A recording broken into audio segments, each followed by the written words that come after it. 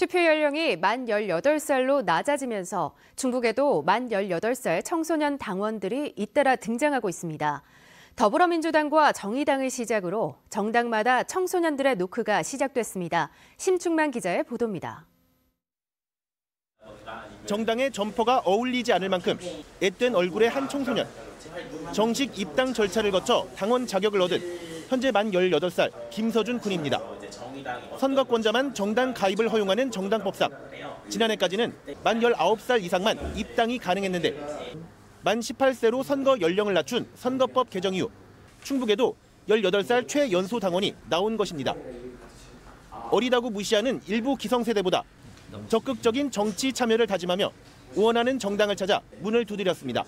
과연 어른들은 자신의 확실한 정치적 견해로 좋은 사회, 정치적인 활동으로 좋은 사회를 만들어냈는가를 생각해 보면 그건 아니라고 생각을 하기 때문에 지난 5일 더불어민주당 충북도당에도 18살 최연소 당원이 입당한 걸 비롯해 정당마다 18살 청소년들의 입당 문의가 늘어갑니다.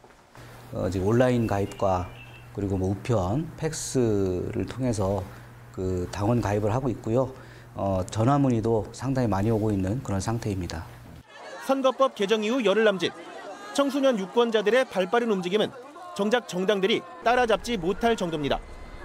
일부 정당은 만 19살 이상만 등록되는 당원 관리 프로그램 등 소프트웨어가 그대로라 18살은 당장 등록이 안 되는 등 혼란도 벌어지고 있습니다. 다소 시간이 좀 걸릴 것 같습니다. 그런 문제 바로 조직하게 해결을 할 거고요.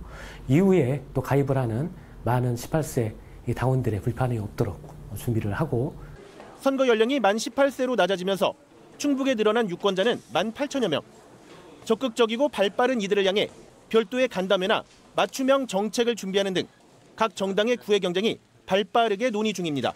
MBC 뉴스 심충만입니다.